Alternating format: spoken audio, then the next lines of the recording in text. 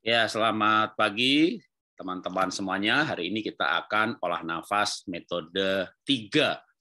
Metode 1 dan 2 itu dari Wim Hof.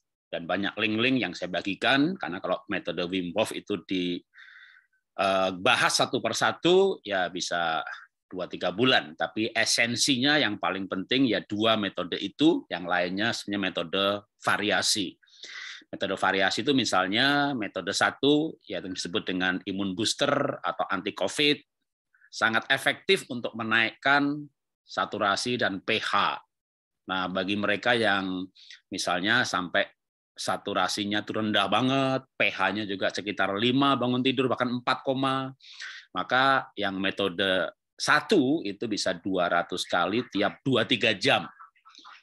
Bahkan ada beberapa yang misalnya terkena kanker aktif dan berani mengambil langkah radikal, tidak kemo dan tidak eh, radiasi, itu tarik nafas dan lepasnya lebih kuat. Seperti yang diperagaan sama Wim Hof ya sampai gitu ya. Itu variatif namanya ya tapi esensinya sama.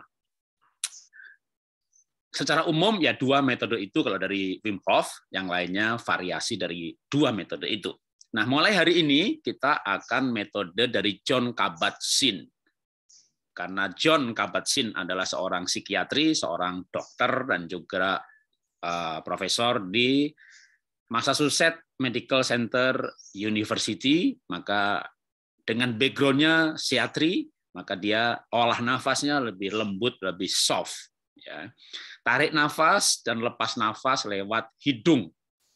Jadi bagi Bapak Ibu yang tidak punya masalah dengan saturasi, Pak saya saturasi 98 gitu ya, nggak kayak saya dulu 95, 94 karena saya 7 tahun sakit paru-paru. Tapi sekarang saya pasang alat 98, olah nafas 10 15 tarikan udah 100. Bapak Ibu bisa melihat peragaan saya di video yang saya post juga link-linknya pada waktu eh, yang baik peragaan saat olah nafas metode 1 atau dua waktu tahan nafas tahan nafas 30 detik, 20 30 detik aja masih 100 terus baru meluncur ke bawah sampai 60, 50 kadang-kadang lalu naik dengan cepat ke 100. Nah, dulu saya tidak punya kemampuan untuk naik saturasi sampai 100 itu dalam waktu yang cepat.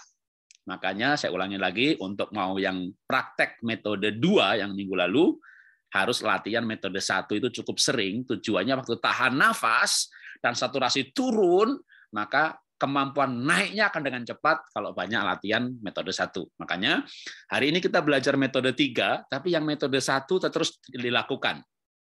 Nah nantinya tiap hari cukup dua kali, pagi misalnya metode satu, lalu sore atau malam metode dua atau tiga, gitu ya. Kecuali sekali lagi bagi yang punya masalah dengan minum kista, cancer atau tubuhnya acid, ya bangun tidur 4 sampai 5 itu yang metode satu boleh 2 3 jam sekali kalau ada gejala-gejala yang simptom-simptom yang rasanya nggak enak, kayak kesemutan berkepanjangan, maka cukup 100 kali. Nah, sekarang metode tiga. Metode tiga ini dari John Kabat-Zinn yang eh, lebih pada penekanannya sebenarnya dari ilmunya di sananya gitu ya, itu untuk eh, pengobatan-pengobatan yang berhubungan dengan psikosomatis, stres, ya bukan berarti Bapak Ibu orang yang stres gitu ya, tapi nanti dalam modul-modul selanjutnya saya akan hubungkan antara penyakit dengan perasaan. Demikian juga kesehatan dengan perasaan, penyembuhan dengan perasaan. Tapi hari ini kita lebih ke teknisnya dulu mengenai John Kabat-Zinn ini. Ketika saya belajar olah nafas di kelompoknya John Kabat-Zinn ini bahkan tidak dibahas mengenai uh, saturasi ataupun pH. Nggak disuruh beli, nggak disuruh menyediakan ya. Kalau Wim Hof memang dia banyak membahas mengenai pH dan saturasi walaupun juga nggak sampai uh, suruh beli alatnya. Nah bagi saya segala sesuatu harus terukur. Kalau menjadi alkali itu dari berapa jadi berapa gitu ya. Paling nggak terukur yang gampang ya pH urin. Walaupun pH urin berbeda dengan pH darah tapi mengindikasi kalau orang banyak minum atau makanya bangun tidur biasanya pH-nya lebih rendah, makin banyak minum nanti pH-nya bisa setara urin dan darah itu tidak beda banyak. Apalagi kalau Bapak Ibu tidak makan soft, nggak minum soft drink, minumnya air putih biasa saja, banyak makan sayur hijau, yang banyak vitamin B kompleks atau antioksidan, atau malah didoping vitamin, ya bukan obat, vitamin B kompleks, murah sekali itu B kompleks. Beli yang generik cuma belasan ribu harganya bisa sebulan. Maka nanti pasti pH-nya naik, cukup bagus gitu ya. Tapi yang minumnya masih belum sehat, makannya banyak daging, banyak manis lagi ya. Gula itu rasanya manis, tapi membuat tubuh menjadi asam. Karena waktu proses glikolisis, pemecahan eh, glukosa menjadi energi, itu ada juga asam yang terbentuk. Nah, Lalu Pak saya udah nggak ada masalah dengan pH. Saya pH saya bangun tidur aja 7,5. Wah, itu persis istri saya tuh nggak olah nafas aja 7,5. Makan enak, tidur pulas, nggak pernah cemburu, nggak pernah mikir yang baik macam-macam. Jamnya tidur ya tidur, hatinya tenang gitu ya. Saya bangkrut ya dia tidur-tidur, jamnya makan-makan gitu. pH-nya bagus. Saya bangun tidur dulu 5,5 gitu ya tetap tetap butuh olah nafas yang terutama metode tiga dan selanjutnya ini ya saturasi udah bagus gitu ya, pH-nya udah bagus, saturasi Pak saya pasang 99 Pak gitu. Nah, kenapa? Karena metode tiga ini dalam penelitiannya John Kabat-Zinn ketika orang melakukan 22 minggu saja gitu ya. Memang kalau kita hanya 12 minggu ya, tapi penelitian beliau itu 22 minggu. Maka nanti setelah kita selesai 12 minggu, lanjutkan terus ya olah nafas ini. Penelitian beliau dalam 22 minggu itu PFC, prefrontal cortex PFC itu di bagian depan sini ya, otak depan, prefrontal cortex. Binatang itu nggak punya PFC. Nah, PFC-nya itu aktif atau mengembang. Ya, kalau nanti mau cari jurnal, cari artikel, uh, silahkan mengenai hal ini ya, karena ini penelitiannya John Kabat-Zinn. Nah, PFC ini penting karena kalau misalnya kena narkoba itu merusaknya PFC.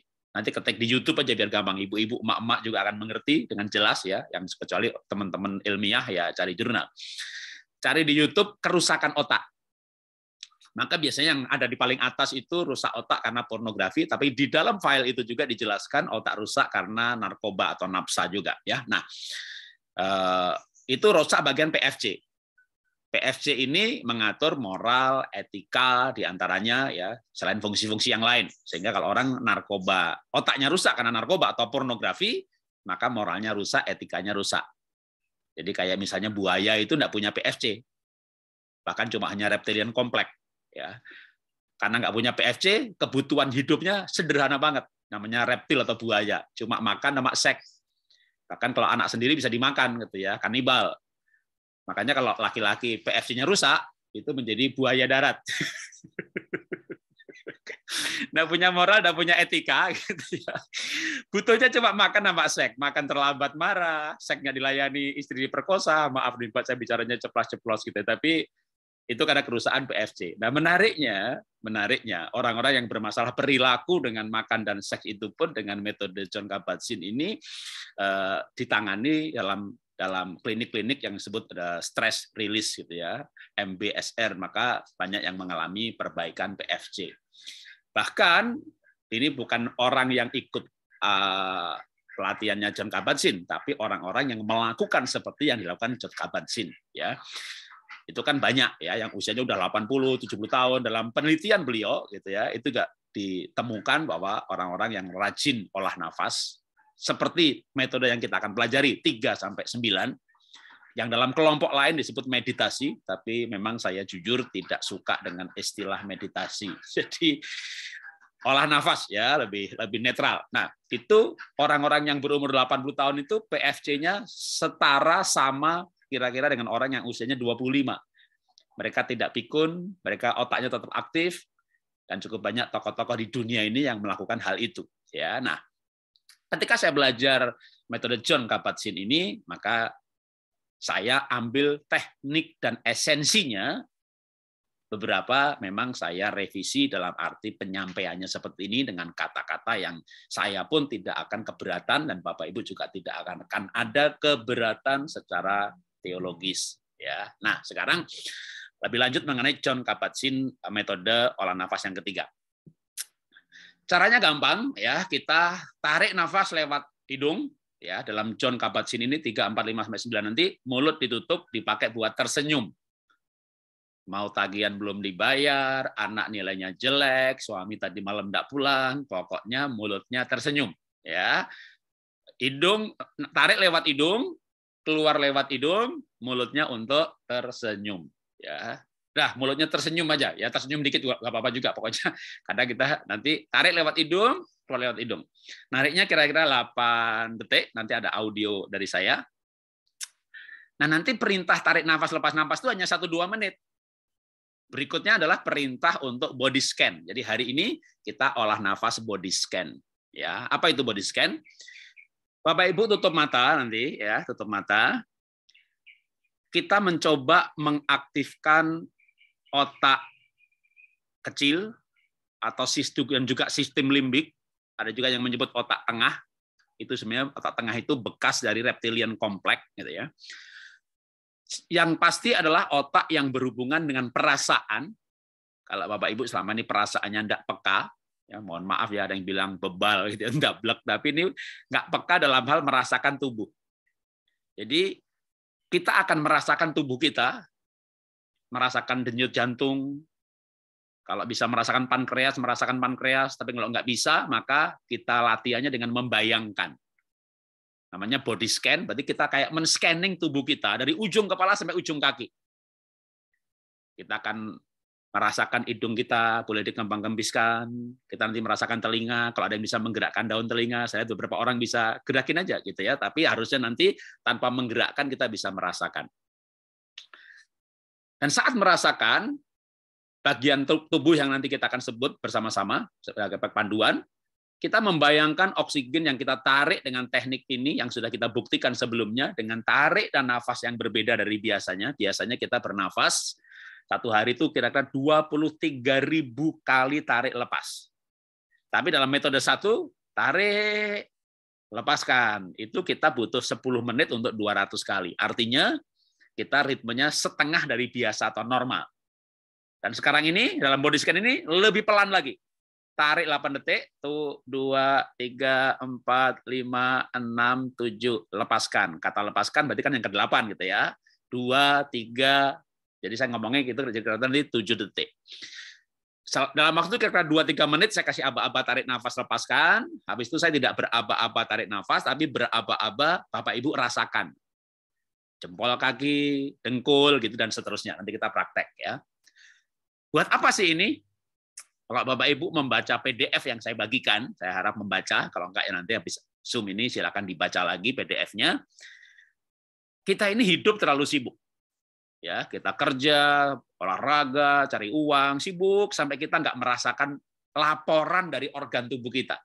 Mereka berteriak, mungkin kita nggak nggak dengar. Maka pada waktu kita dengar, kejeber, jantungnya udah tinggal 50%, kejebret, pankreasnya udah tinggal 20%, diperiksa lagi, kejebret, ginjalnya tinggal 50%.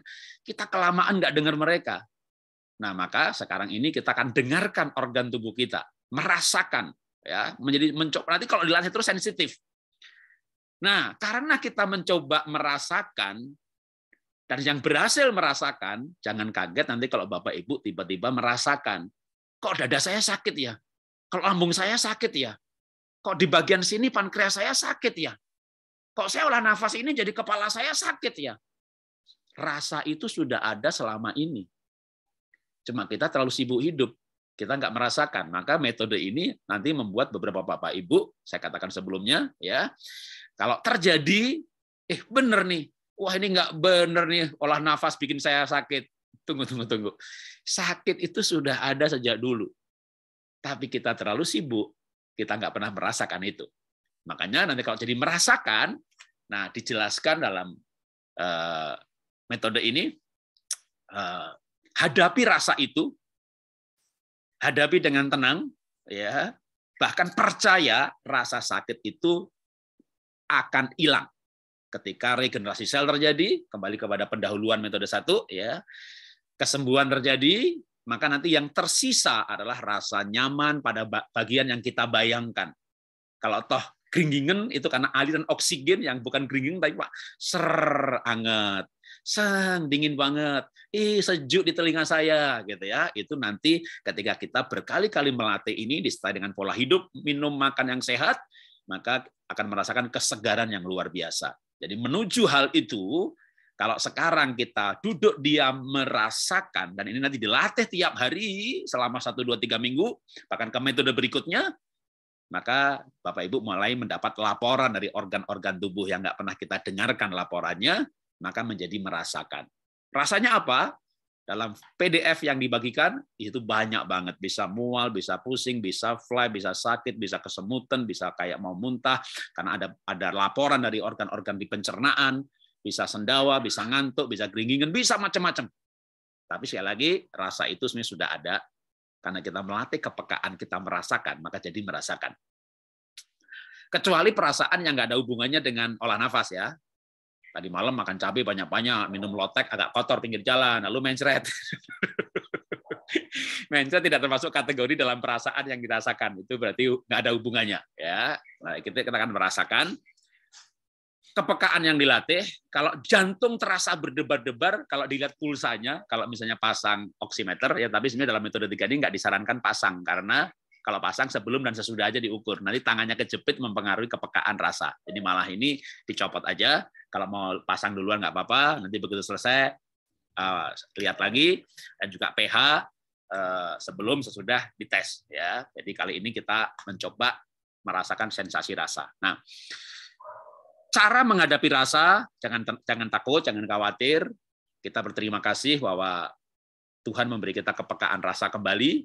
Selama ini mungkin kita nggak punya rasa, dengan demikian kita bisa meresponi laporan itu dengan benar. Misalnya eh, prostat terasa atau jantung ada rasa.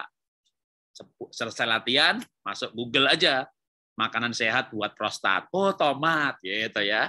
Makanan sehat buat ginjal. Oh, ini gitu ya. Jadi kita menerap, meresponi dengan memberikan nutrisi terbaik bagi organ itu. Tentu saya akan menjelaskan makanan apa buat organ ini, ini, ini, ini. Nanti boleh ya, sesi 12-13 kita bisa berbicara mengenai nutrisi yang tertentu untuk penyakit yang tertentu secara umum saja. Kalau cancer jangan makan apa, bolehnya makan apa, itu nanti ya. Atau ya kalau kalau mendesak banget Pak, saya ini kondisi sakit Pak, ya boleh japri saya, saya akan menyarankan tidak ngajari ya waktunya panjang, tapi saya akan kasih undangan nanti untuk webinar yang namanya genomic diet. Diet akurat tepat, customize satu persatu dianalisa berdasarkan tes DNA-nya. Tentu tesnya bayar karena ini ke pihak laboratorium ya, ke sayanya nggak bayar. Dengan nanti dokter nutrisi dan dokter DNA berkolaborasi memberikan bimbingan Bapak Ibu untuk diet yang tepat. Nah, tentu bimbingan dokter ini juga bayar ke dokternya, bukan ke saya. Tapi saya menganggap ini adalah pola hidup, pola diet yang terbaik, walaupun ada biaya. Ya, yang lain kan ada diet keto, PMB, segala macam, yang kadang ada efek samping bagi yang tidak cocok. Ada yang cocok dan sembuh, tapi enggak. Nah, kalau saya kan nggak mau ambil risiko ya. Kalau masih muda kan nggak apa-apa. Coba nggak cocok, itu waduh, nggak, badan lemes jenis proteinnya diganti. Wah, cocok gitu ya. Udah tua coba-coba stroke ah, repot kan. Oke, balik lagi ke metode body scan. Kalau Bapak Ibu mengalami rasa, maka cara menghadapi yang lain selain meresponi tidak pertama tidak usah khawatir karena rasa itu selama ini ada, kita jadi merasakan. Yang kedua bisa meresponi dengan memberikan nutrisi yang tepat. Yang ketiga, secara psikologis rasa itu di dalam kita. Kalau dalam ilustrasi yang saya terima waktu saya pelatihan seperti ini, rasa itu diibaratkan seperti anak kita, bagian dari hidup kita. Kita punya bayi setahun dua tahun kita gendong, lalu anaknya nangis gitu ya. Apa yang kita lakukan? Banting Pak Jarot. Jahat banget anak dibanting. Mau anak itu nangis, mau ketawa, kita gendong terus. Nah itulah rasa, perasaan kita. Itu kita gendong terus, kita pelihara seperti anak yang baru lahir, cinta mula-mula, kita sayang, kita tidak khawatir sampai anak itu terkendali. Kadang anak itu digendong orang baru gitu dia merasa asing tapi lama-lama dia merasakan bahwa pelukannya tulus, murni, anak juga peka rasanya, anaknya bisa tenang. Nah, demikian juga dengan perasaan kita. Itu di dalam kita. Itu itu itu ada cuma selama ini kita nggak merasakan rasa itu. Jadi itulah cara menangani uh, rasa ya. Kita akan mulai dengan uh, praktek uh, body scan ini tarik nafasnya pelan-pelan. Sebentar, saya banyak bicara dan saya harus minum lagi. Sambil nunjukin air minum saya ya. Orang Jawa kuno ya, minumnya air kendi. Karena kakek saya mengajarkan kepada saya, kakek saya lurah seumur hidup, sebenarnya bukan seumur hidup sih, dipilih terus. Dia umurnya juga 90 lebih. uh, orang Jawa di daerah Kemuning sana Karangpandan ngajarin saya le nek esok-esok minum mau air kendi gitu ya saya pikir apa air kendi mesti cari kendi yang dari uh, tanah gitu ya sore malam diisi ditaruh di teras seperti ini diembunkan tapi jangan lupa ditutup tutup sini, tutup sini, gitu ya, biar nggak kotoran masuk, gitu ya. Nah, belakangan sejak saya concern makan minum sehat, saya ingat nasihat itu. Tapi memang air kendinya ini saya tes pakai pH meter. Ajaib loh, ajaib. Airnya kemarin pH-nya 7 gitu. Dimasukkan kendi, besok paginya 7,6, 7,5. Dan itu alami karena proses kayak luarnya udaranya dingin gitu ya, makanya airnya dinginnya dinginnya kendi sama dinginnya kulkas itu beda. Dan terjadi pelarutan mineral dari tanah karena tanahnya sudah dibakar, kendi itu kan dibakar ya. Maka yang terlarut itu yang benar-benar yang mineralnya kecil, yang itu membuat airnya alkali. Uh, saya pikir hebat juga ya kakek zaman dulu gitu ya. Ngasih minum suruh minum air kendi. Sekarang saya tinggal di Jakarta, orang modern tapi minumnya air kendi. Oke, sebentar ya sambil minum dulu.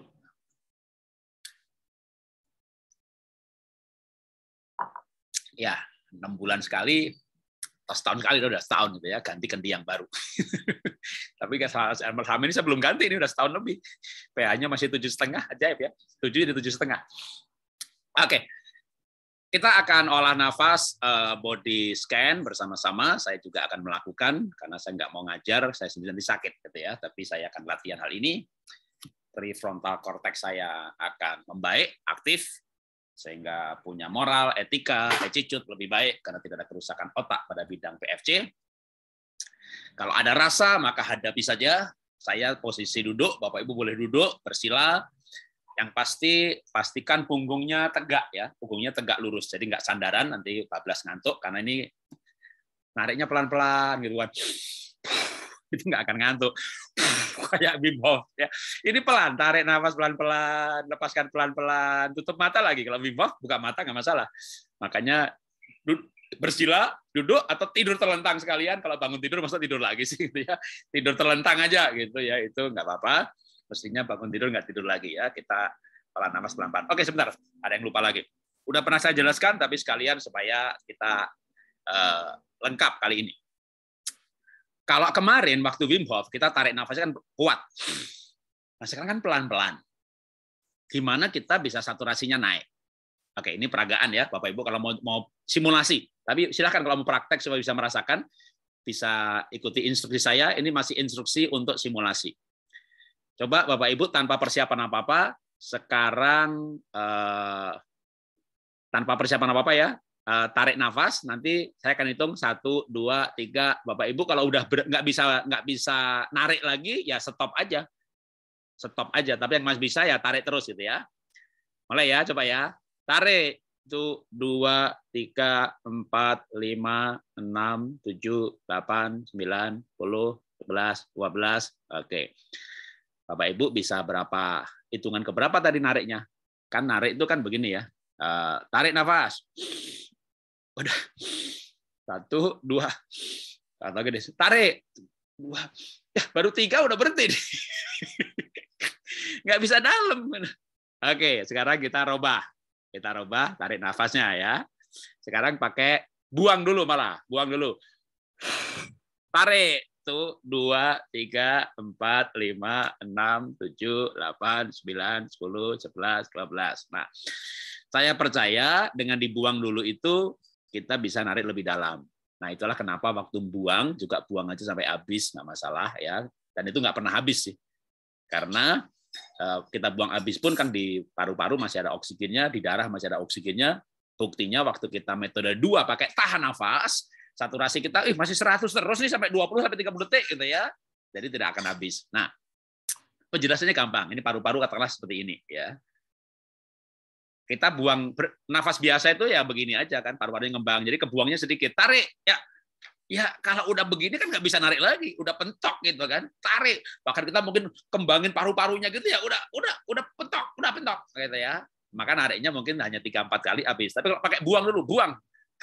Ya, kan kempes nih, tarik. Tuh, dua, tiga, empat. Nah, jadi kalau dibuang banyak, tentu bisa narik banyak. Makanya dalam beberapa kelas, ada juga yang kita mau mulai, nanti juga pas metode yang body stretching, itu akan mulai, kita mulai tarik. Gitu ya. Jadi malah diajak buang dulu. Nah, jadi atau kalau misalnya nggak buang dulu ya otomatis nanti begitu tarik nafas jangan apa kalau yang di pertama kok nggak bisa banyak ya ya karena kita saya mulai dengan hitungan tarik gitu tapi kalau misalnya buang tarik nah itu pasti bisa lebih banyak ya jadi kalau paru-paru itu tadi ilustrasinya ya volume begini atau kayak gelas gelas ini sudah saya buang isinya kayak paru-paru dibuang isinya saya isi ya bisa penuh oh banyak bisa diisi dengan segelas juga sebesar volumenya kalau tadi cuma saya buang atau saya minum sepertiga, bisa nggak diisi satu gelas? Ya tumpah, nggak bisa.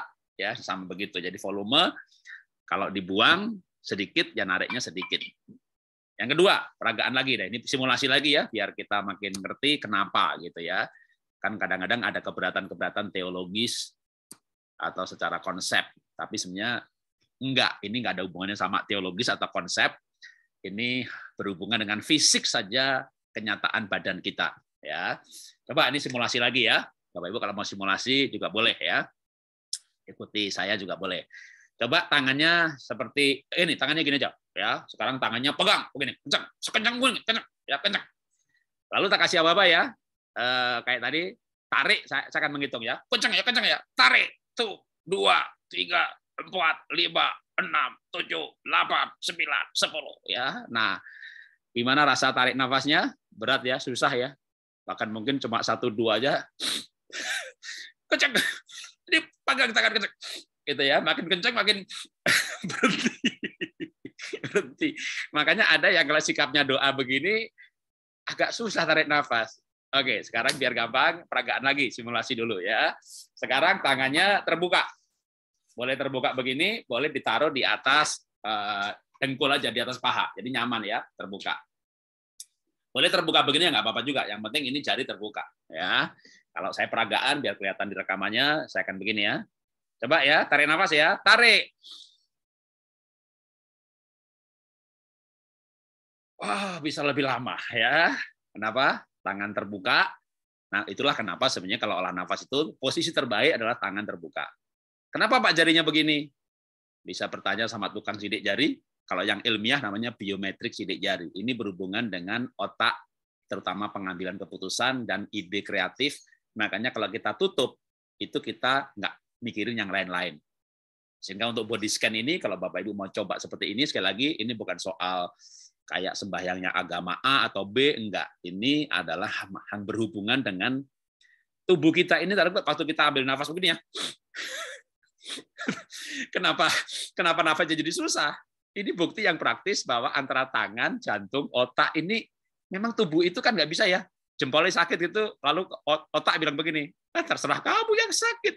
Kamu yang jalan sakit, kenapa saya harus merasakan?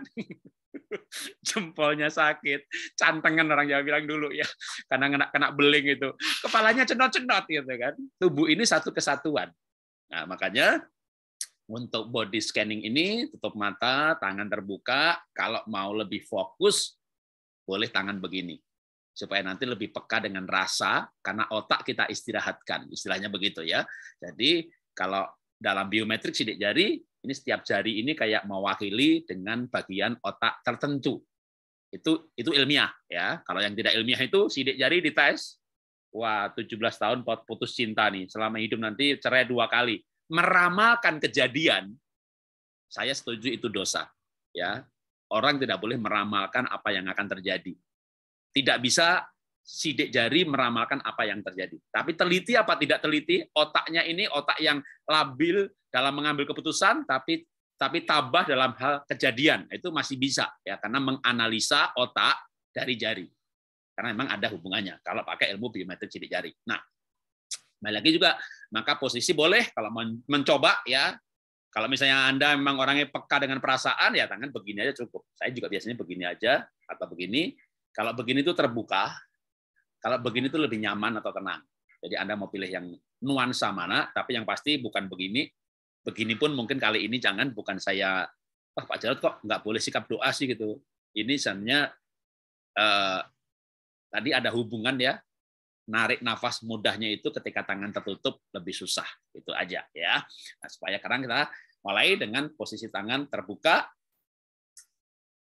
tutup mata dan eh, mengaktifkan eh, perasaan ya. Apakah lidah mulut harus menekan langit-langit? Nah, saya terus terang mencoba tapi nggak merasakan perbedaan yang signifikan, maka saya juga tidak menekankan, tapi boleh kalau misalnya eh, bagi Bapak Ibu itu signifikan lidah nempel ke langit-langit, saya lebih fokus, saya lebih mudah merasakan, saya lebih gampang menahan nafas. Kalau waktu pakai metode tahan nafas atau boleh juga ya. Memang ada yang mengajarkan demikian, saya terus terang belum merasakan suatu rasa yang berbeda, tapi itu boleh ya. Oke, kita akan mulai. 30 menit sehingga jam 8 kita uh, uh, selesai ya, kita selesai lebih cepat. Enggak apa-apa. Hari ini saya ada uh, hal yang harus diselesaikan. Jadi begitu selesai kita akan selesai ya. Kita mulai. Oke, tunggu sebentar, saya lagi. Uh, saya sengaja di teras ini nanti ada suara ayam, bebek, soang, jangan terganggu karena kita justru kita latihan untuk bisa fokus tanpa terganggu. Bapak Ibu nanti bisa di pasar, di kereta, di alam terbuka gitu ya. Malah dulu waktu saya ikut kelas seperti ini itu sengaja uh, nggak di mute all gitu. Jadi ada bunyi orang yang ikut dengerin sambil pancinya bunyi, ada aduh kita protes gitu gurunya bilang tuh berarti kalian nggak fokus tadi masa kayak gitu keganggu hidup ini lebih daripada itu katanya Tapi saya tetap all semuanya ya. Paling gangguan dari alam eh, ternak-ternak saya di sebelah saya kalau mereka makin lapar, makin teriaknya makin kencang itu nanti. Ya, kita akan mulai bersama-sama. Sekarang saya audionya maksimal dulu. Oke, ya. Bapak Ibu, teman-teman, kita akan uh, praktek olah nafas uh, body scan. Tarik lewat hidung, lepaskan lewat hidung dengan pelan-pelan, tarik sedalam mungkin, tapi nggak ngoyo sekuat mungkin, lepaskan ya ala kadarnya, yang nggak sampai dihembuskan seperti waktu metode 1 dan 2, itu metode Wim Hof. Sekarang ini kita metodenya dari John Kabat-Zinn, ya, profesor dokter dari Medical Center Uh, University di Massachusetts, Amerika. Tarik nafasnya pelan-pelan, lepaskan pelan-pelan. Nanti saya lebih banyak memberikan aba-aba untuk body scan-nya. Ya, seperti apa? Ya kita praktek, udah langsung jelas ya. Kita mulai dengan tarik nafas pelan-pelan lewat hidung. Lepaskan pelan-pelan lewat hidung. Mulutnya tersenyum, Silakan Bapak Ibu lanjutkan bernafas seperti itu dan saya akan memberikan aba-aba untuk body scan. Sambil bernafas lembut, kita mulai mencoba untuk merasakan anggota tubuh kita. Kita mulai dengan kaki sebelah kiri. Coba Bapak Ibu boleh merasakan ujung-ujung jari atau jempol kalau belum bisa merasakan, mau digerakkan sedikit nggak apa-apa, tapi nantinya tanpa menggerakkan, kita bisa merasakan anggota bagian tubuh kita. Terima kasih Tuhan buat jari-jari kaki dan juga telapak kaki dengan kulit yang tebal sehingga bisa menahan tanah atau kerikil yang agak tajam pun dan tidak terluka. Dan ajaib ya Tuhan, terima kasih kulit yang tebal itu tetap memiliki sensor rasa ketika kami menginjak benda cair, benda padat, atau yang panas, telapak kaki kami yang tebal bisa merasakannya. Kami mungkin selama ini mengabaikan organ-organ tubuh kami, tapi saat ini kami berdiam diri dan mensyukuri, merasakan setiap organ kami. Mulai coba rasakan dari jari dan telapak kaki ke pergelangan kaki. Terima kasih Tuhan, engsel pergelangan kaki kami fleksibel luar biasa. pergerakannya sangat lembut ke segala arah, melebihi canggihnya robot. Rasakan naik ke atas, kalau nggak bisa merasakan, pikirkan saja, bayangkan, Anda membayangkan uh, betis, otot-otot betis, baik betisnya halus, lembut, atau ototnya merengkel, bukan masalah, itu hanya casing. Kita berterima kasih untuk otot-otot di situ. Lalu kita mulai membayangkan tulang kering yang kuat, ada bicep, ada tricep, terima kasih Tuhan. Bisa bergerak, mengatur kegerakan antara kontraksi atau relaksi, mekanisme yang luar biasa Terima kasih Tuhan buat lutut. Anda bisa bayangin lutut. Yang lututnya sakit, mulai membayangkan bahwa saat kita berolah nafas, oksigen mengalir ke lutut. Terima kasih Tuhan untuk lutut yang ajaib. Ada pelumas alamiah di situ, sehingga bergerak terus. Tidak seperti mobil atau motor atau apa pun yang butuh doping oli, tapi secara alamiah sudah diciptakan Terima kasih untuk tempurung lutut. Terima kasih untuk paha luar dan dalam dengan otot yang lebih besar daripada betis untuk menyangga badan kami. Kami bisa mengangkat baik kekuatan tangan atau punggung, tapi kita juga bisa mengangkat beban, tapi dengan duduk jongkok lalu berdiri karena ada kekuatan otot betis dan paha yang bersinergi. Terima kasih untuk pangkal paha, panggul, semuanya dirancang begitu luar biasa. Bapak Ibu terus bernafas dengan lembut dan kita coba untuk kembali merasakan tapi kita pindah ke kaki kanan. Ya boleh diulangi seperti tadi tapi dengan lebih cepat ya kita merasakan jari-jari kita merasakan uh, telapak kaki.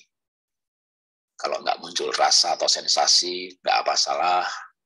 Kita membayangkan dan berterima kasih untuk betis tempurung lutut dan paha bisa mulai pindahkan sekarang dalam jalur dari pangkal paha naik ke atas ke perut. Jadi sebenarnya Bapak Ibu boleh nanti menggunakan jalur saluran pencernaan, saluran pernafasan, tapi kita melihat otot-otot panggul, kita berterima kasih Tuhan. Bahkan kami mungkin mengabaikan pantat yang kami punyai, yang Tuhan rancang dengan begitu banyak lemak, kami bisa duduk tanpa rasa sakit, menutupi tulang ekor. Sungguh Tuhan menciptakan setiap organ tubuh kami luar biasa. Terima kasih untuk organ reproduksi. Terima kasih Tuhan untuk organ kelamin, untuk rongga perut yang berisi penuh dengan organ-organ pencernaan. Terima kasih untuk segala hal yang Tuhan ciptakan dalam wilayah perut kami. Kami bersyukur sekarang kami akan menaik ke atas untuk merasakan adanya bahwa kita punya punggung yang selama ini kita miliki, tapi mungkin kita jarang menyapanya dan kita tidak berterima kasih untuk hal itu. Terima kasih untuk punggung dengan tulang belakang dari bawah kepala korteks sampai ke tulang ekor tulang yang membungkus sumsum -sum, dan saraf-saraf di situ dengan kuatnya, dengan perlindungan tulang, namun masih bisa bergerak dengan elastis. Terima kasih untuk dada dengan tulang-tulang rusuk yang kuat, melindungi paru-paru kami, dan otot-otot yang menempel pada tulang-tulang rusuk juga bisa membuat rongga dada kami mengembang dan menutup. Terima kasih Tuhan untuk paru-paru, pembuluh darah besar, tulang belikat, tulang leher. Terima kasih buat leher kami juga yang bergerak begitu fleksibelnya. Kita mencoba untuk membayangkan dan memindahkan perasaan kita, men-scanning body kita dari bahu sekarang turun ke bawah ke tangan. Jadi dari bahu kita merasakan tangan kita. Tetap sambil bernafas pelan-pelan. Pejamkan mata boleh supaya lebih bisa merasakan, melatih kepekaan. Lalu kita merasakan tangan atau membayangkan tangan, boleh bersamaan kiri dan kanan. Kita bersyukur untuk pangkal lengan atas, untuk segmen lemak lengan atas, siku, dan sungguh ajaib tangan kita diciptakan Tuhan. Sama seperti kaki yang bisa bergerak ke segala arah dengan gerakan yang lembut. Sekali lagi saya merasakan yang lebih canggih daripada robot yang tercanggih sekalipun.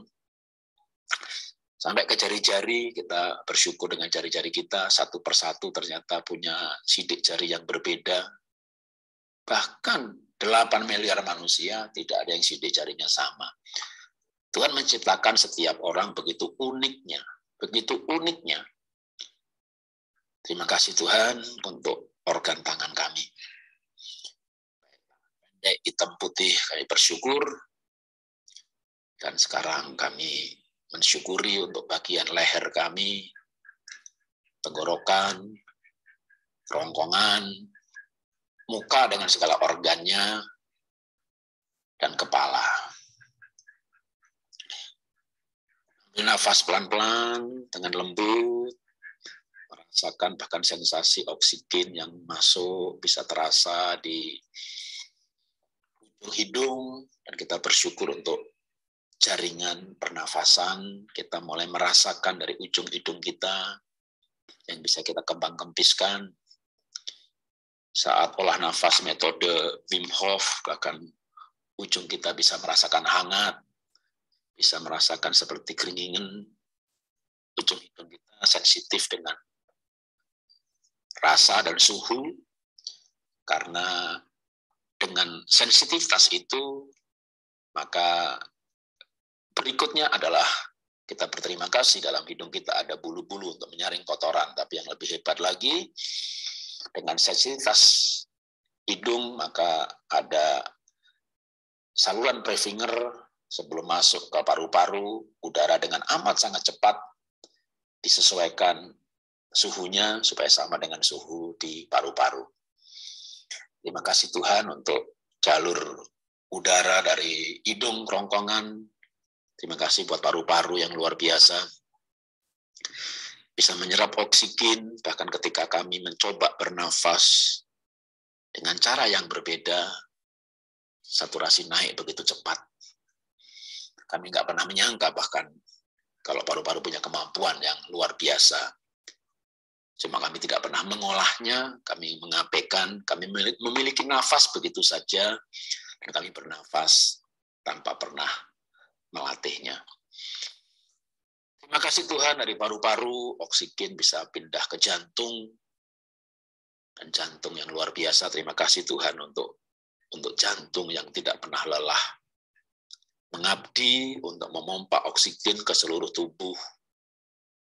Kami capek, kami istirahat, kami tidur. Tapi jantung kami tidak pernah tidur.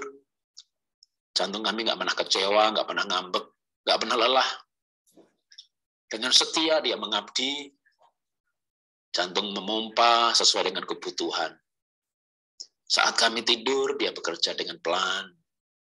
Begitu kami berjalan, kami berolahraga, dan sel-sel tubuh kami butuh oksigen, maka dia pompa lebih keras, tanpa kami perintah, tanpa kami paksa, tanpa perlu kami motivasi. Tapi jantung mengabdi sampai akhir hayat kami. Terima kasih Tuhan buat jantung yang Tuhan ciptakan. Mencari kami memelihara jantung kami dengan berolahraga. Mencari kami memelihara jantung kami dengan tidak membuatnya terlalu dipenuhi dengan lemak-lemak yang menempel atau visceral fat.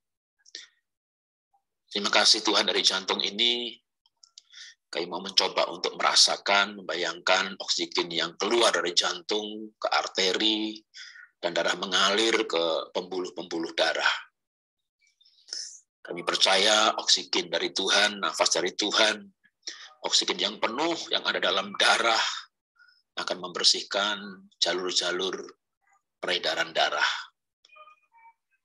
Mengirim sel-sel, mengirim oksigen ke sel-sel tubuh, Anda bisa membayangkan kalau pernah saya post cara kerja jantung, Bapak Ibu bisa melihat di YouTube cara kerja jantung, bagaimana darah itu beredar, kita bisa membayangkan hal itu, dan berterima kasih untuk hal itu.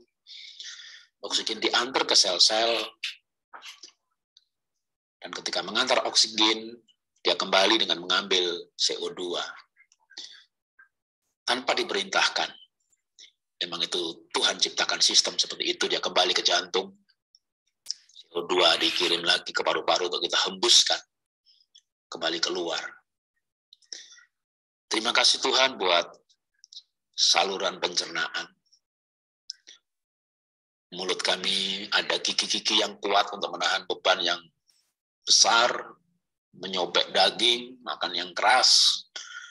Terima kasih dalam mulut kami ada lidah yang bisa merasakan pahit, manis, asam di wilayahnya masing-masing. Terima kasih buat mulut dengan kelenjar amilase untuk mengurai karbohidrat lebih mudah. Terima kasih saat kami mengunyah, Sarah sudah melaporkan ke lambung untuk siap-siap menerima sebuah teamwork, kerjasama, koordinasi antar bagian tubuh yang luar biasa. Terima kasih untuk kerongkongan dengan gerakan peristatisnya bisa mendorong makanan ke lambung.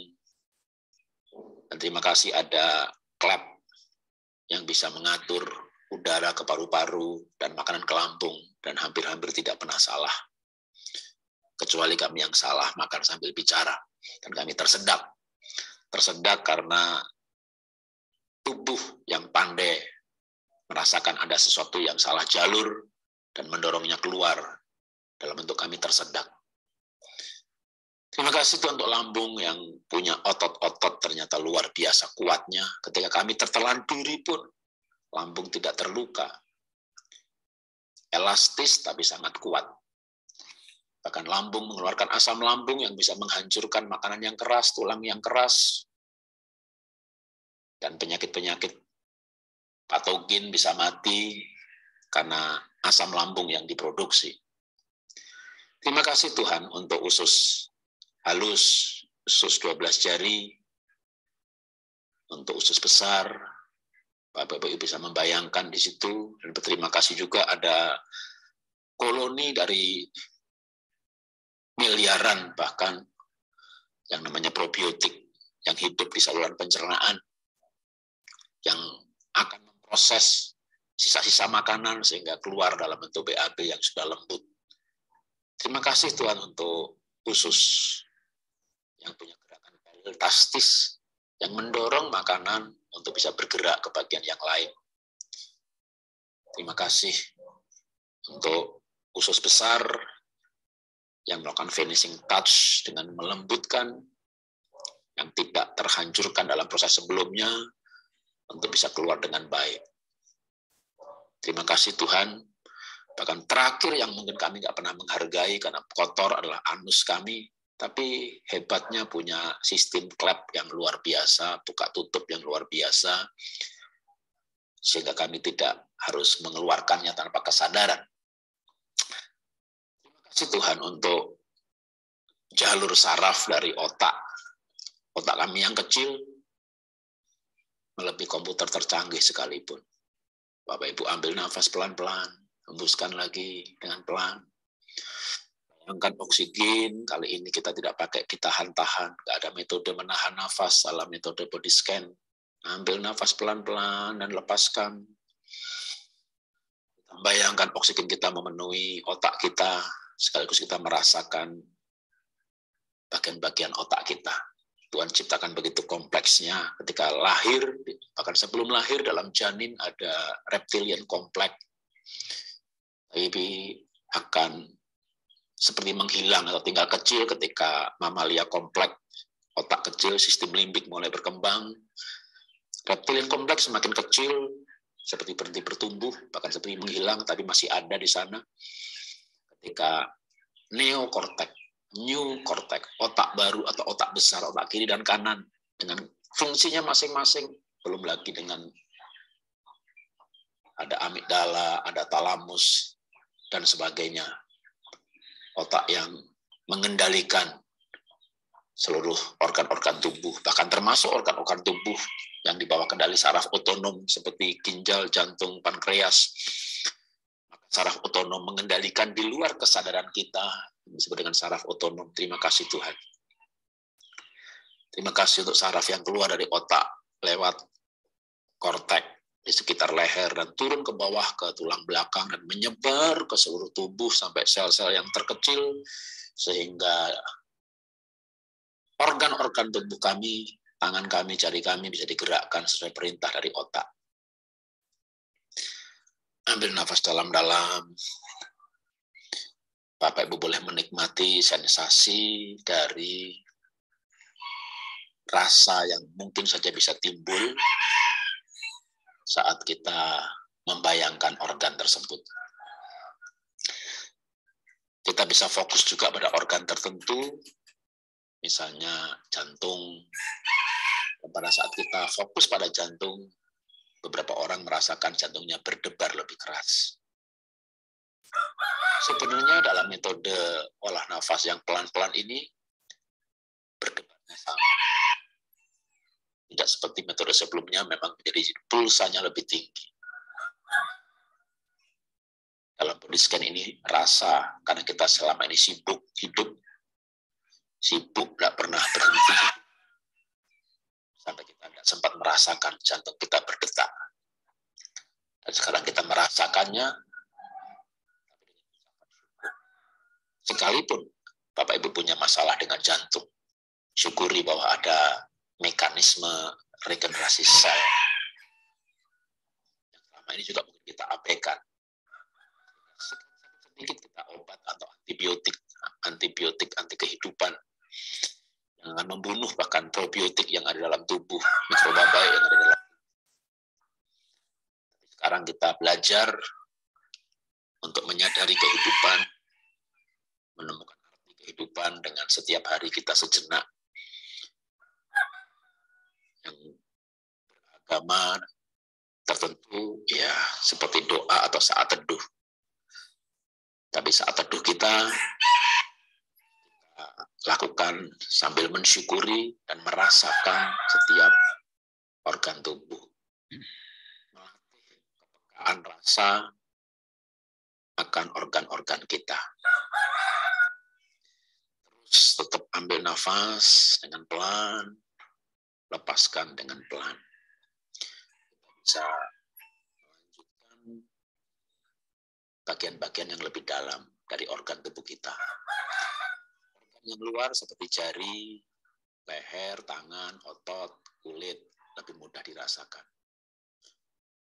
Bagi Bapak Ibu yang melakukan ini dengan duduk di lantai bersila, lantai ubin, kita bisa melihat bahwa kulit kulit kita dalam jarak mili bisa merasakan perbedaan suhu lantai yang dingin dan di atasnya udara yang tidak lebih dingin.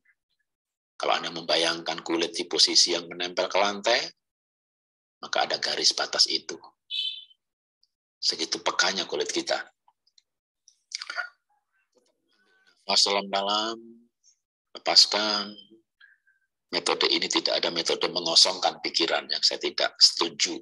Tapi justru kita mengisi pikiran, kesadaran, kesadaran akan organ-organ tubuh. Sambil bernafas, kita membayangkan oksigen mengalir pada organ-organ yang kita bayangkan. Kita lupakan masa lalu, bukan berarti mengosongkan, tapi masa lalu adalah history, sejarah. Kita sejenak melupakan masa depan, karena itu masih misteri. Kita tidak tahu apakah kita besok masih bangun dan hidup atau sudah tidak ada lagi. Saat kita tidak bernafas, kita sudah tidak hidup lagi. Tapi selagi kita bernafas, maka kita bukan mengosongkan pikiran, mengisi pikiran dengan pikiran yang baik, pikiran sederhana bahwa kesusahan hari ini cukuplah. Bahkan kita mulai belajar untuk tidak kesusahan hari ini, tapi detik ini saja. Senang melupakan nanti siang mau ngapain. Tapi saat ini kita merasakan tubuh kita. Ibu bisa melanjutkan eh, body scan-nya dengan mulai menyapa, membayangkan atau merasakan. Misalnya kita mencoba untuk merasakan lebih dalam ya organ-organ dalam seperti lambung.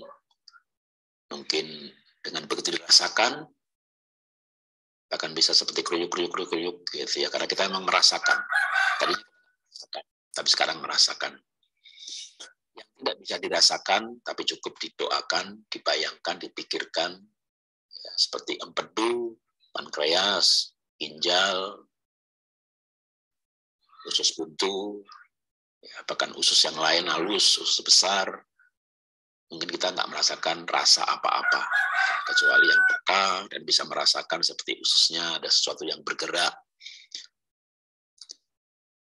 Kalau timbul rasa seperti rasa sakit, rasa sakit itu sebenarnya sudah ada sebelumnya, cuma kita terlalu sibuk dengan hidup ini dan kita nggak merasakan. Tapi ketika mencoba kita merasakan, sambil bernafas pelan-pelan, mungkin akan ada rasa sakit pada tubuh tertentu. Baik itu jantung, tangan, dada kiri, dada atas, leher, atau bagian tubuh mana pun. Karena kita terlalu sibuk, kita nggak pernah merasakan, tahu-tahu ketika merasakan sudah parah, sudah sakit. Kali ini kita melupakan segala pekerjaan dan kita merasakan tubuh kita maka tiba-tiba ada yang mengalami merasakan hal-hal seperti itu, simptom-simptom, rasa-rasa tertentu, maka telah teruslah bernafas. Anda malah justru mulai fokus pada organ itu. Anda bernafas pelan-pelan. Anda boleh juga buka mata kalau merasakan rasa-rasa tertentu. Tapi tetap terus bernafas dengan lembut, dengan pelan, karena nafas ini buat kita tenang, dan kita akan terbiasa mengendalikan rasa itu, akan sampai nanti rasa itu akan hilang. Karena sudah terjadi gangguan atau regenerasi sel pada organ-organ tersebut. Yang ada adalah rasa-rasa nyaman ketika kita merasakan organ tertentu, rasa yang lembut, bisa juga rasa-rasa seperti sebuah aliran oksigen yang mengalir pada organ yang kita rasakan, kepekaan kita dilatih, dan seperti sebuah rasa aliran atau sensasi segar pada organ tersebut. Sensasi dan rasa bisa berbeda-beda sesuai dengan kondisi masing-masing. Tapi latihan ini dan latihan-latihan selanjutnya dengan metode yang sama secara teknis yaitu nafas pelan-pelan, hembuskan pelan-pelan lewat hidung, mulut tetap senyum, kita akan melakukan olah hati dan pikiran bersamaan dengan olah nafas.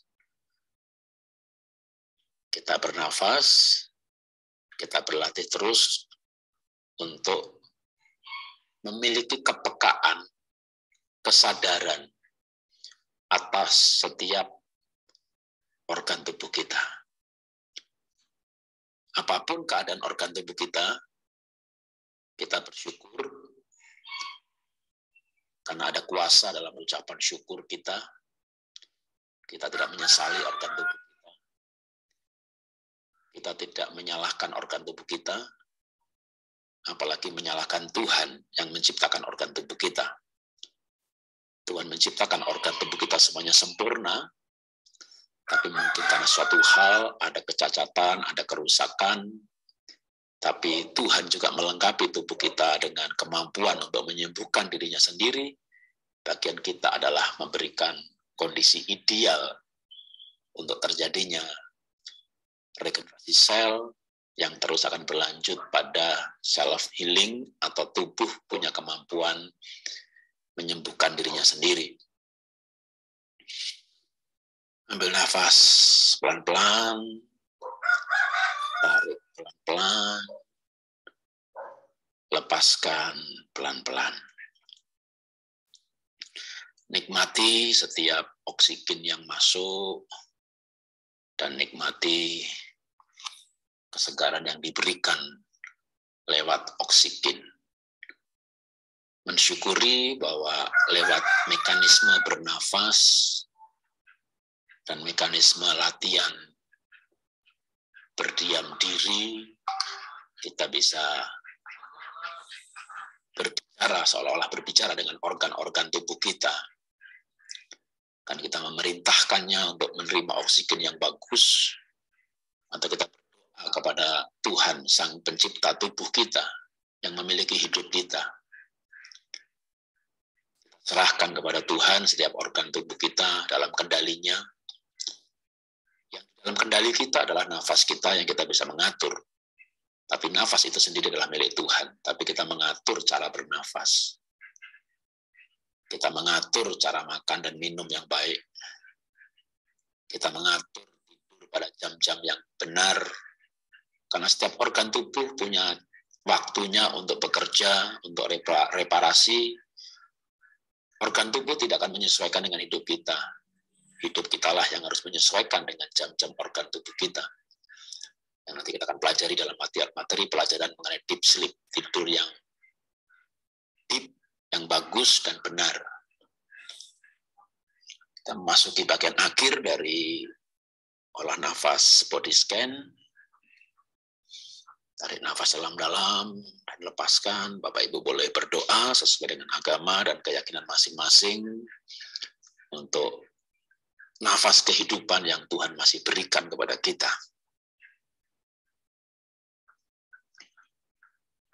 Terima kasih Tuhan kami boleh sejenak bersaat teduh di hadapan Tuhan dan mensyukuri setiap bagian dari tubuh ini. Amin dan kita selesai. Ya, Bapak Ibu, kita sudah selesai. Jadi olah nafas yang ketiga ini memang kita fokus pada merasakan organ-organ tubuh. Tidak usah uh, bingung atau merasa aneh bagi yang kok saya nggak rasa apa-apa ya gitu ya. Biasanya laki-laki ya yang nggak punya rasa. Laki-laki itu punyanya logika, otak kirinya kuat, logikanya kurang sehingga mungkin kurang merasakan kecuali laki-laki yang koreografer, seniman kayak saya, pelukis ya. Saya tiap hari melukis.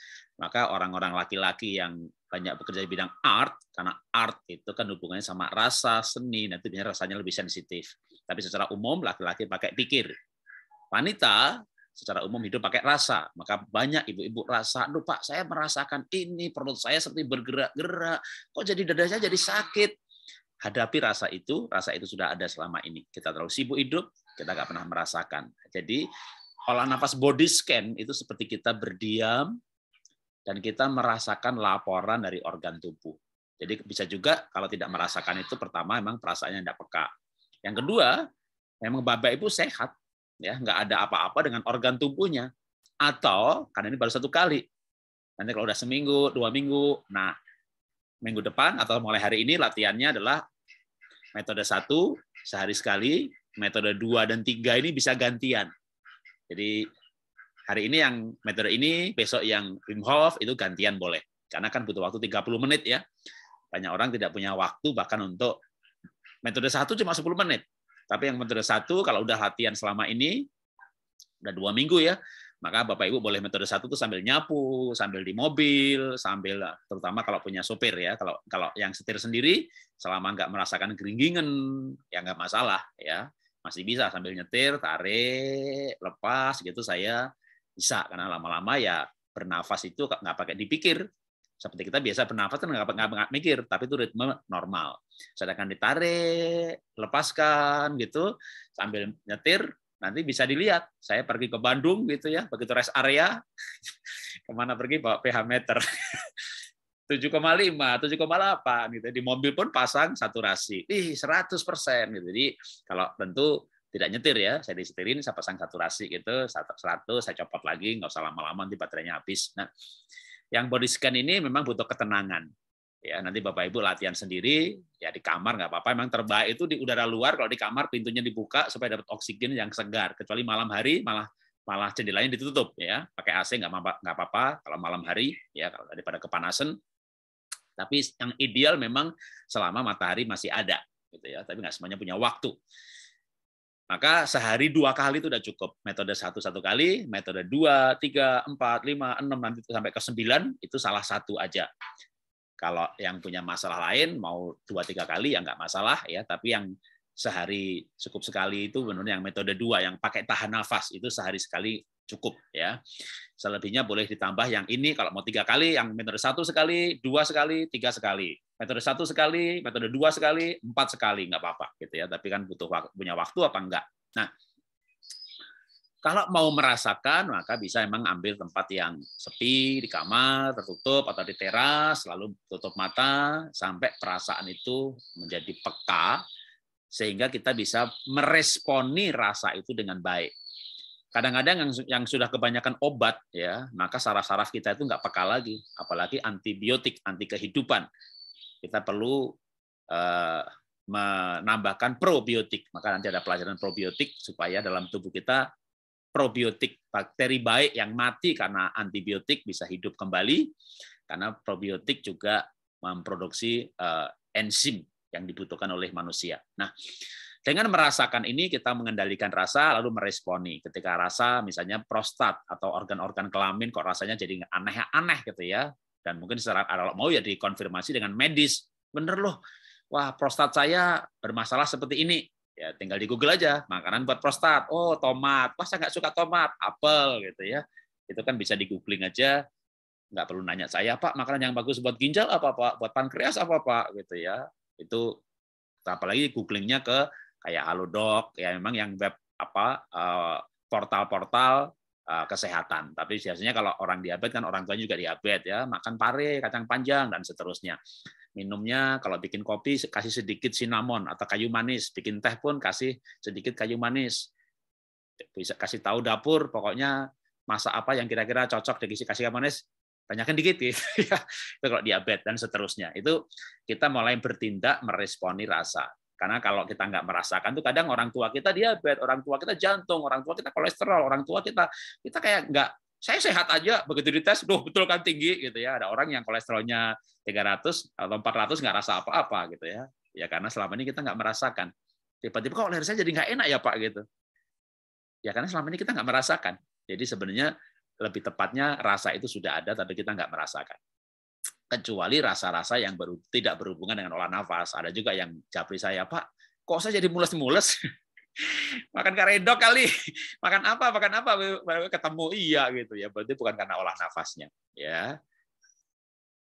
Lanjutkan.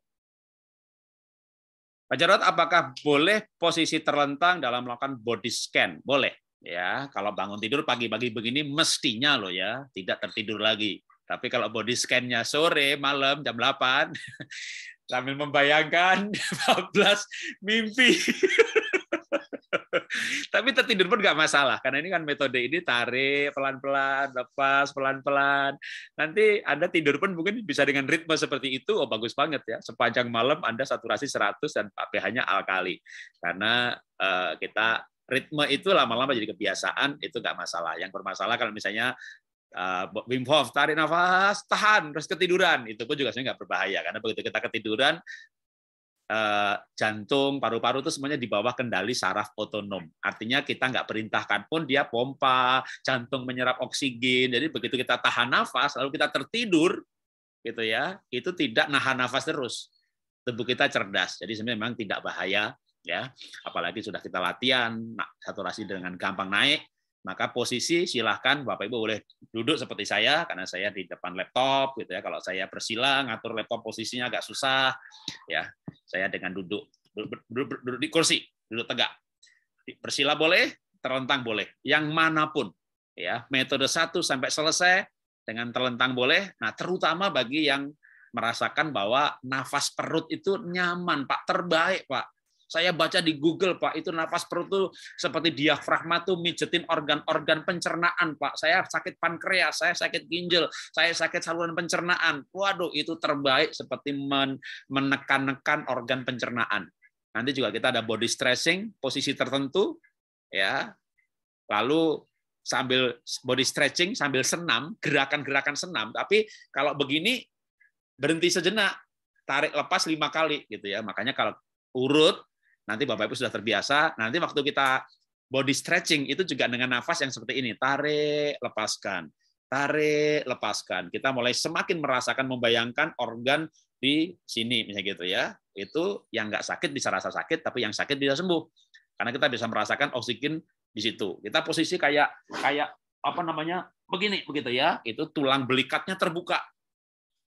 Ada yang saraf kejepit situ, dia jepitannya lepas dan rasa seperti segar di situ ser gitu ya. Karena oksigen ini bukan hanya oksigen ya darah membawa oksigen eh, situasinya alkali membawa nutrisi-nutrisi yang kita makan dengan benar makanan sehat maka itu akan menjadi udah makanannya sehat nutrisinya sehat dibawa sama darah lalu sampai ke sel Nah, itu kepekaan dan posisi juga nanti akan menentukan, maka nanti ada posisi-posisi body stretching. Nah, sekarang ini kita peka dulu merasakan telentang boleh, duduk boleh, eh, apa namanya?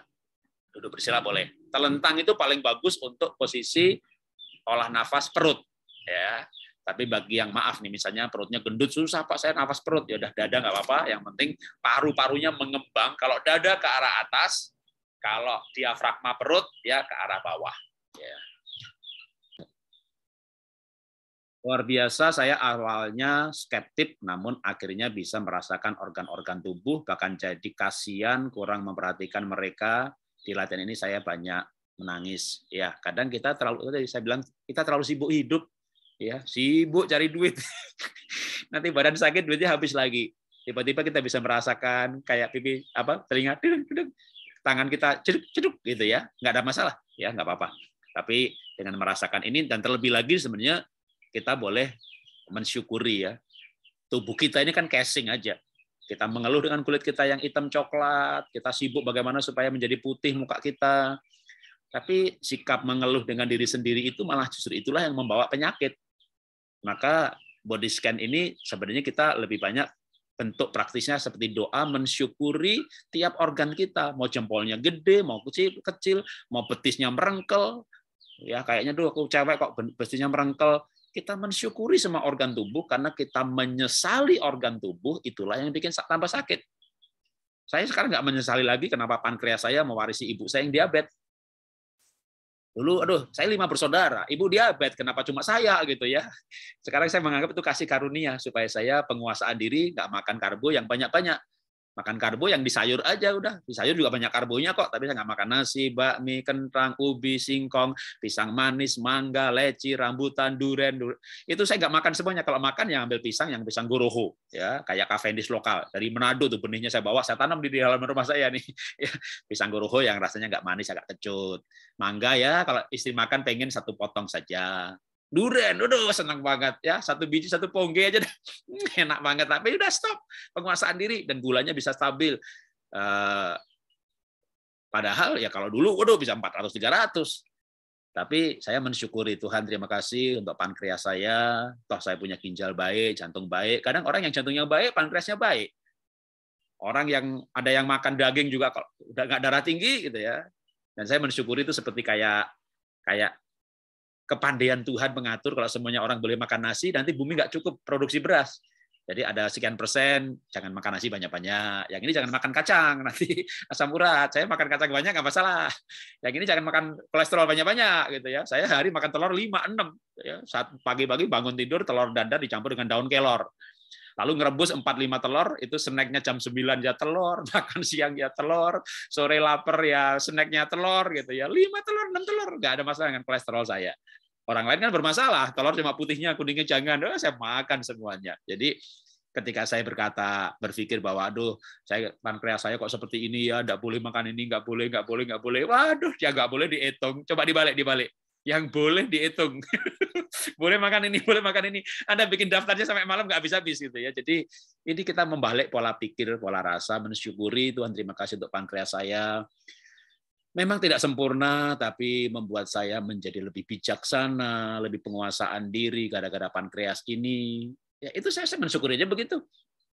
Dan kenyataannya ya gula saya bisa antara 100 sampai 120 bangun tidur tanpa obat. Kalau saya lebih ketat lagi bisa di bawah 100, tapi saya nggak mau terlalu ketat, nanti terlalu ekstrim ya, nggak makan sayur, nggak makan bumbu lah, itu kan penting untuk antioksidan. Jadi eh, tetap makan sayur, makan bumbu, tapi yang karbo murni, saya karbo tinggi ya, kayak bakmi, nasi, yang nggak usah gitu ya. Nah itu sebagai contoh saja nanti bapak ibu punya nggak punya masalah soal pankreas, masalah jantung. Gimana saya mensyukuri jantung pak? Jantung saya bermasalah gitu ya tetap aja sambil dirasakan, sambil syukuri. Bahkan kalau secara agama ya boleh melangkah seperti iman. Tuhan terima kasih untuk jantungku saat ini bekerja walaupun tinggal 50%, tapi aku percaya Tuhan menciptakan tubuhku dengan mekanisme regenerasi sel, bisa terjadi perbaikan, aku akan sembuh, aku akan sembuh gitu ya. Jadi percaya aku akan sembuh. Jadi ketika fokus pada uh, organ yang ketika dirasa-rasakan maka menjadi merasakan ya. Saya baca chat lagi, saya merasakan perut kiri, bawah, ujung sakit. Oke, sapa mereka. Kalau yang merasa sakit disapa, ya menyapa organ sendiri gitu ya. Dan nanti kita memberikan perhatian. Telapak kaki terasa dingin Pak dari telapak kaki ke paha, yaitu sensitif ya. Bisa enggak Pak dituntun juga untuk di grup ini untuk pola makan. Nanti kita ada 12 modul. Ya, nanti kita akan ada kan dalam apa yang kita pelajari gitu ya di posting di grup itu kan dari mulai olah nafas, olah hati, olah pikir, eh, lalu akan ada mengenai pola makan, pola minum, bahkan nanti saya ajari juga ya membuat sendiri bagi semua yang supaya murah dan yakin bagaimana membuat probiotik, membuat eh, minuman probiotik bikin sendiri. Saya sudah bikin 11 tahun lebih, saya produksi, saya makan sendiri. Jadi nanti saya akan ajari termasuk cara membuatnya. Ya, jadi saya nggak jualan probiotik, nggak jualan produk, nggak jualan barang. Mumpung masih saya bernafas, apa yang saya tahu saya mau bagikan aja, gitu ya. Kan ilmu itu kalau orang Islam berkata harus diamalkan. Kalau di Kristen berkata orang itu hidup mesti berbuah. Oke, latihan sore di AC ya tadi sudah saya sebut. Oke, saya stop dulu sebentar. Sebentar